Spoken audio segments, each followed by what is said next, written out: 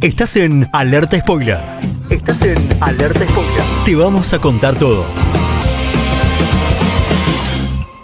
de, de seguridad y me dice, por supuesto, si podíamos combinar esfuerzo y firmar un convenio con el Ministerio de la Seguridad de la provincia, me dijo que también y que la policía, entonces yo no entiendo por qué Richie dice que no, que soy un vendedor de humo. Si muchos lo han hecho, ¿por qué nosotros no lo podemos hacer?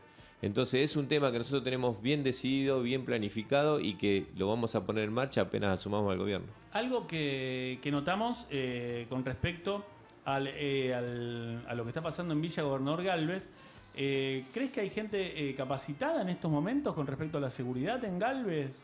Para nada. Yo creo que no solo eso. La Secretaría de Gobierno se ocupa de demasiadas cosas para poder trabajar sobre la seguridad. Educación, cultura, el funcionamiento interno del municipio. Yo creo que hay que generar una secretaría específicamente para esto y una secretaría también que trabaje sobre el desarrollo humano.